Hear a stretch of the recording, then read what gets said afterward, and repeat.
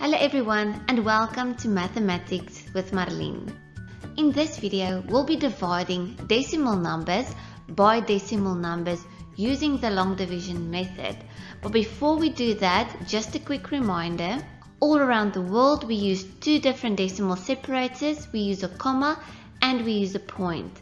And because I was born and raised in South Africa, I use a decimal comma. That doesn't change any steps, any rules or anything else except for the fact that I use a comma where you may use a point. So now let's get started. So just a quick recap of the terminology. The number we're dividing is called the dividend. The number we will be dividing with is called the divisor and the answer is called the quotient. So let's look at this example. So let's start by setting up this problem.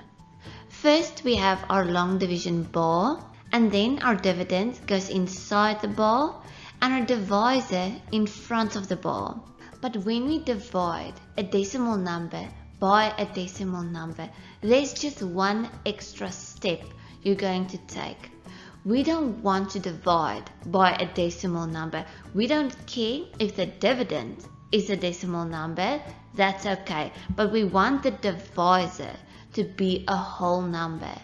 So I'm going to times with 10. So I'm going to move the comma one time to the right. But I can't just do that to the divisor.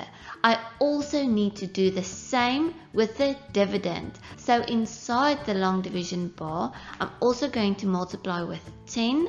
So basically, I'm going to move that comma also one time to the right. And now I'm just going to write this nice and neatly. So now I have 85,2 divided by 4 and now we're dividing by a whole number. And that is perfect. That is what we want. So before we start with our four steps for normal long division we are still dividing a decimal number by a whole number. So we still have those two extra steps. The first thing we can now go and write the comma in the answer because the comma in the answer is going to be exactly above the comma in the dividend and now that we have our comma in the answer, we can go ahead and ignore the comma in the dividend. So now you're going to continue like normal long division.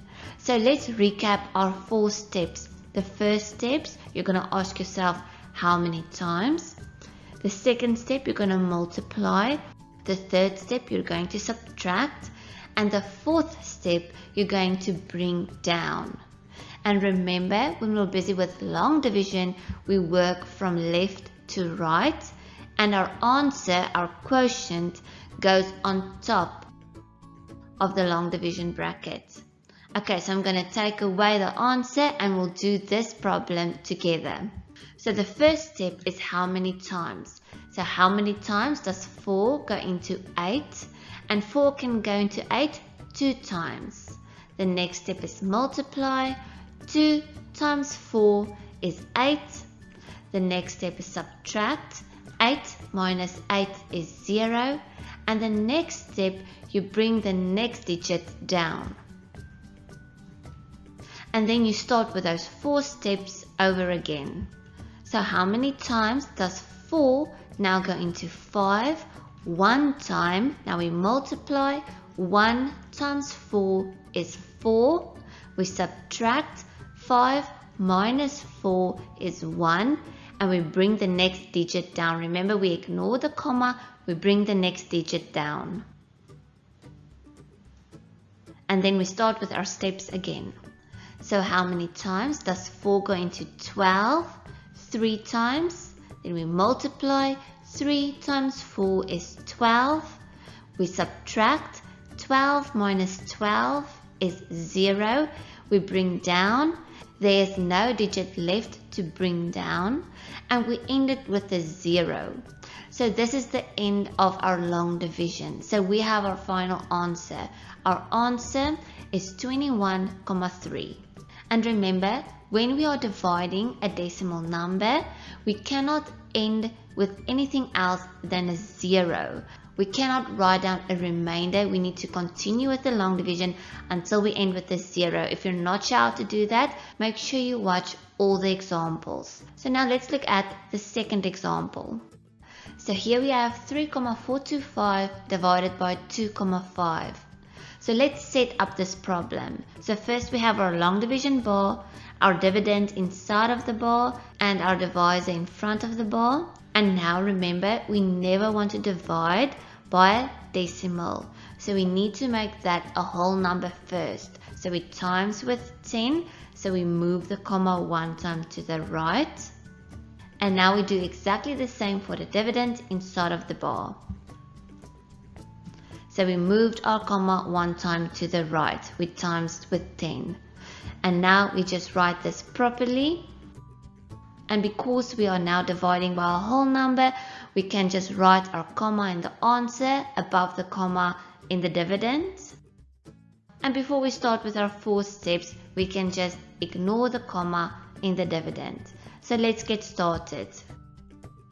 So our first step, how many times can 25 go into 3?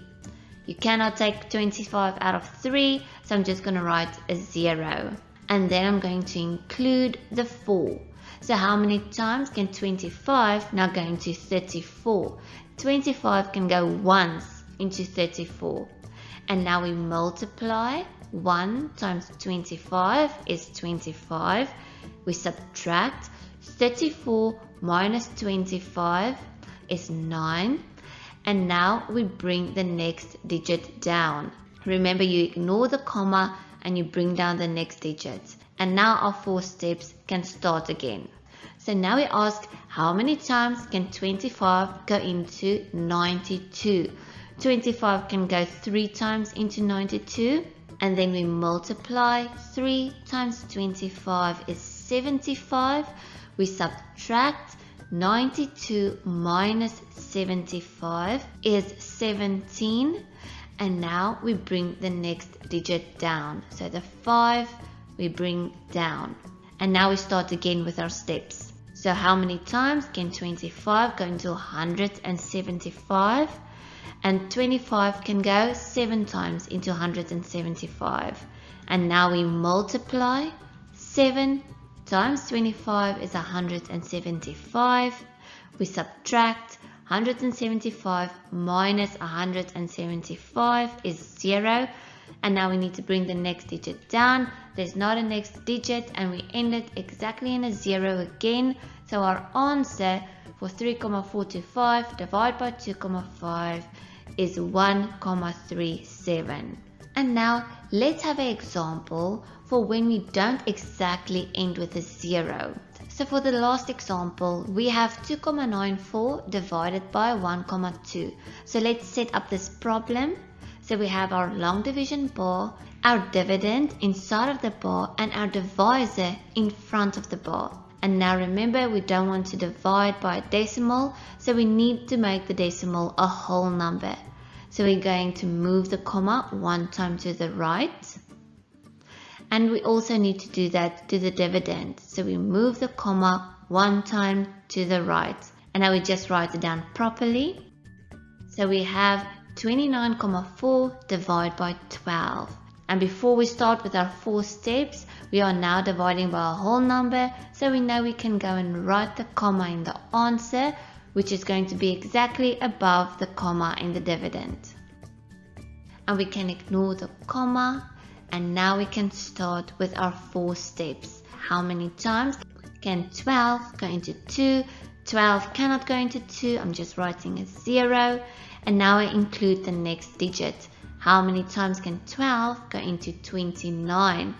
12 can go 2 times into 29. Now we multiply 2 times 12 is 24. We subtract 29 minus 24 is 5 and we bring the next digit down. Remember we are ignoring the comma and bringing only the next digit down. And now we can start again with our steps. So how many times does 12 go into 54. 12 can go 4 times into 54. We multiply 4 times 12 is 48 and now we subtract 54 minus 48 is 6 and now we bring down the next digit. But we don't have another digit to bring down and we didn't end exactly with a zero.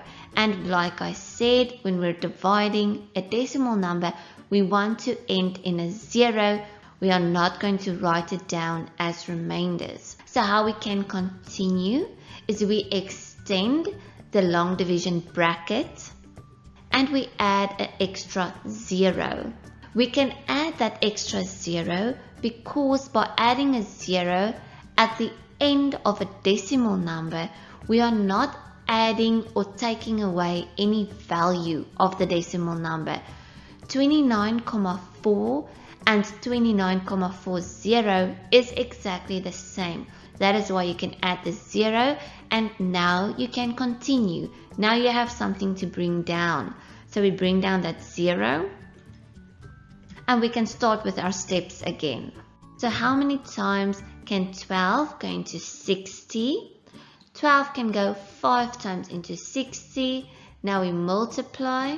5 times 12 is 60. We subtract. 60 minus 60 is 0. And now for the last step is bring down.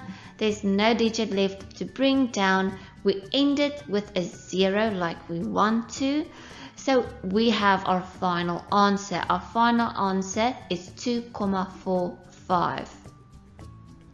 And just like in all the other videos, you can find a worksheet with a memo in the description box below. You can just click on the link and go and download the worksheet and memo. There's a worksheet for if you work with a decimal comma and a worksheet for if you work with a decimal point. So just make sure you download the correct worksheet. And if you haven't already and this video helped you, please remember to like this video and to subscribe to my channel and then I will see you in the next video. Goodbye.